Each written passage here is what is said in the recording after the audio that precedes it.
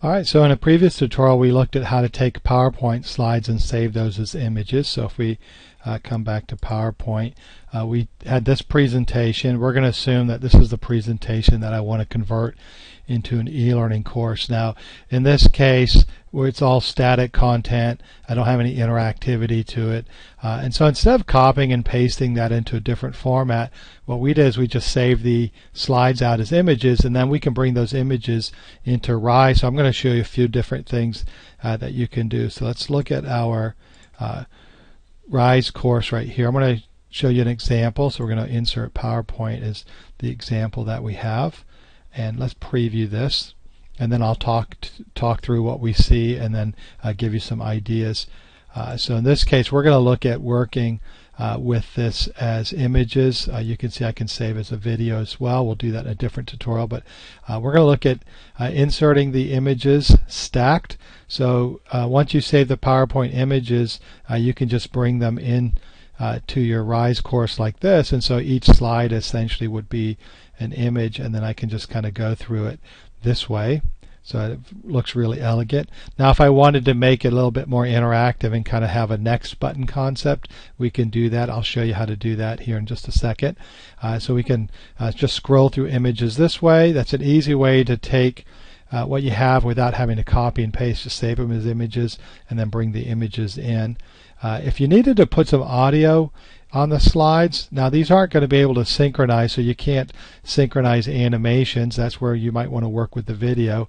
Uh, but in this case, we can insert an image and then we can insert an audio track underneath it. So if you wanted to explain some content on the slide, uh, you could do that. And so what we would do here is we uh, have our images. So this is a few different blocks. I put a little divider here with a number on it so it's a little easier to see. So it's like number one and then I've got my image and then underneath that I added an audio track so then when I click through this the audio uh, would play. So uh, we would have that there and then I would scroll down and there's my second block and, and some audio and then here's my third block uh, with some audio as well. And um, so that's another way to do that. So you could add just static images. People can read the slides.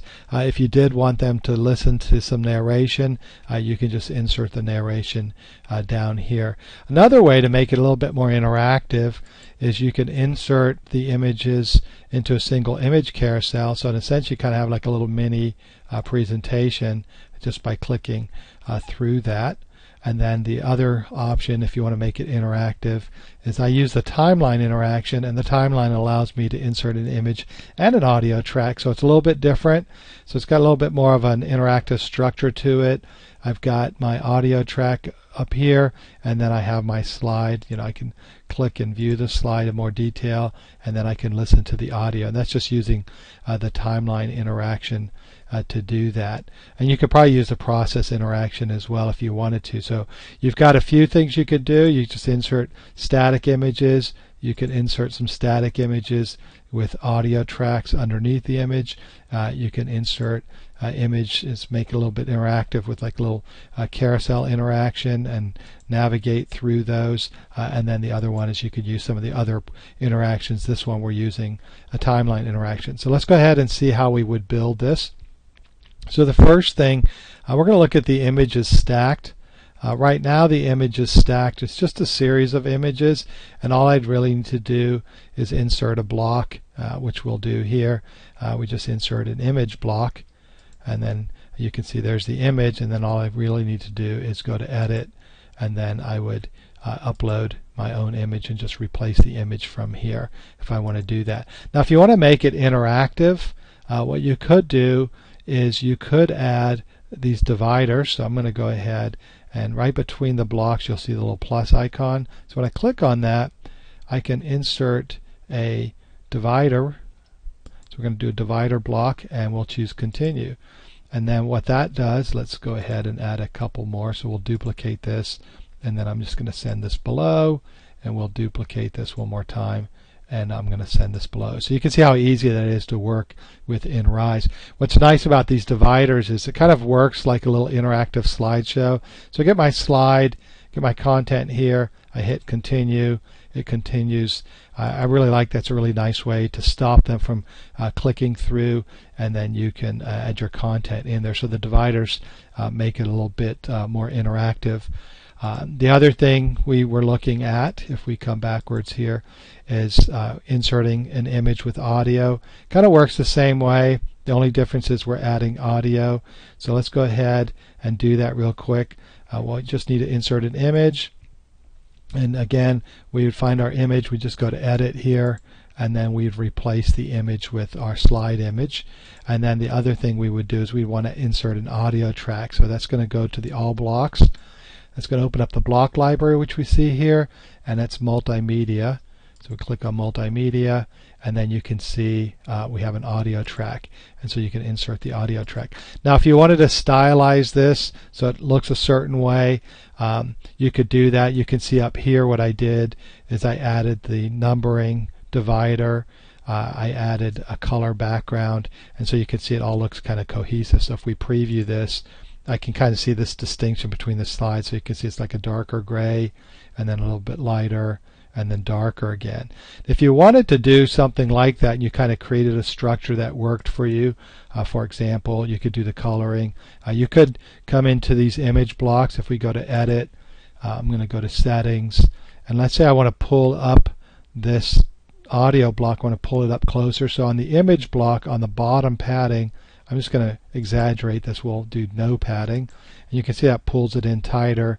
And then I can do the same thing on the audio block here. I'm going to go to edit and on the audio block settings I'm going to go to top padding and we'll just make it no padding and it pulls it in really tight. So now when I preview this that audio is going to be a little bit closer to the slide and so you can see it looks like it belongs there. A little bit better probably than this which is a little bit more uh, separated. So uh, that's a nice way to add the audio track in there. So let's say you did that you really like that and you don't want to have to do that every time you insert an audio track. That's one of the nice things about uh, Rise is I'm going to go to edit and I can save this as this whole block structure here as a template so I'm just going to click on one of these black plus icons.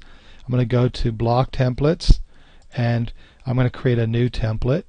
So a new block template and what I'm going to do is select my number. So select that. I'm going to select my slide and I'm going to select or my image and I'm going to select my audio track. So all the padding, the coloring and everything's uh, already built for that.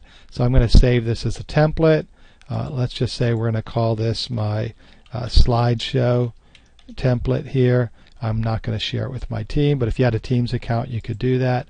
We'll hit save, and now I have that template. So the next time I want to insert a slide, I don't have to do everything from scratch. So let's go ahead and delete this. Let's insert one from slide from from the template. So I'm just going to go ahead and click on all blocks, and I'm going to come down here to the block template, and I should see the one I just inserted so let's go ahead and insert that and you can see it inserted the entire structure so all I have to do now is swap out my images right here and then I can come into my audio block and I can upload my audio if I want to do that or record audio uh, from scratch. So that makes it easy. I don't have to rebuild everything. So the block templates uh, work really well for that.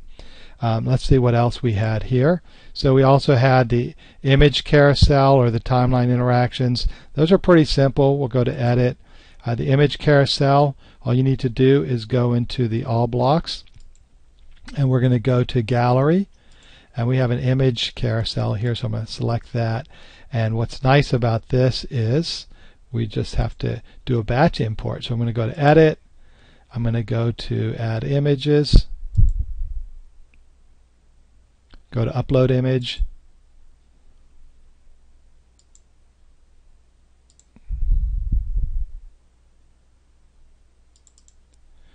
Here are the slides that we were using, so we're going to go ahead and select all these slides. So we have 19, hit open, and you can see they come in as a batch and uh, depending on how fast your internet is, uh, they'll get uploaded and uh, work really well in there. So um, that's how that works. So then you'd end up having a batch. I probably should have only uh, stuck with a couple, uh, but you could see uh, that they're being uploaded here. So I'm going to go ahead and hit cancel and um, we'll see what we have. So you can see here, oops, they're not finished, but you can see how they're uploaded in here and you can see how that carousel interaction works. Uh, if you want to add captions and whatnot, you can do that. Uh, so that's working with a carousel interaction. If you want a different type of interaction, uh, just go to all blocks and then you can go to interactive options here and then you can see there's some different ones. I kind of like the timeline interaction. So if we scroll down here, oops, I scrolled past it. Here's the timeline interaction. The timeline is designed to be a timeline, um, but I can just use it as a series of PowerPoints that are kind of stacked vertically. So all I need to do is go into my uh, edit options and then you can see I'm going to leave the date blank. I'm going to leave the title blank. I'm going to get rid of the text because that's all going to be on the image. So I'm going to insert a picture here. So upload media. There's one of our slides. Let's go ahead and insert that there. So you can see uh, we've got our slide. If I wanted to record audio, we'll just go ahead and do a couple seconds of audio and then you can see how that works. Let's just do one more. So again, I'm going to delete the text because I'm going to assume my slides already have text on there. If I wanted to get rid of the title in the PowerPoint slides, I can then put title in one of these blocks here. Let's actually see what this looks like. So this is the date title. So you'll see what it would look like.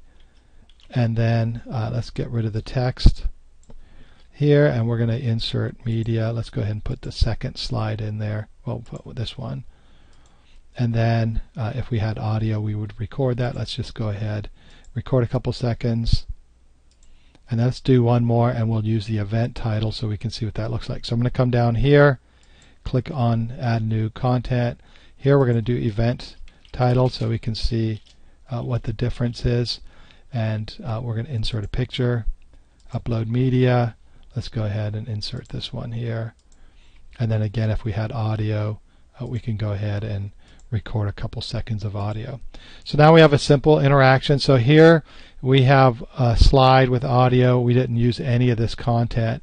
Here we're using the date title to see what that looks like and here we're going to use the event title. So let's go ahead and close this and preview it and see what it looks like. So you can see as we look at it, uh, well I guess I should have clicked here. So here's my timeline interaction. I've got my audio track and this is using nothing uh, from there except for the image. So I'm assuming I have my title and everything on the slides. Uh, here I can see I have my, uh, this is the date title, and then here's the event title. So you can see they look a little bit different in terms of their formatting. Uh, one thing you might want to consider if you're going to use the titles in the timeline is to get rid of the titling in the slide. So that would actually open up more real estate uh, on your slide and you could add more content or massage your content in a different way uh, and then just add your titles into the timeline interaction. But I think it looks really nice, right? Looks good, looks clean, and it's a nice little interaction. And you could do the same thing with some of the other interactions. So the key thing is you've got PowerPoint content. You don't want to export that um, or copy and paste it into different formats. So why not just save the PowerPoint file as an image or slides as images and then you can insert those images and as you can see there's all sorts of ways uh, that you can use those images uh, to benefit you and, and build a nice uh, clean and, and, and even interactive e-learning course.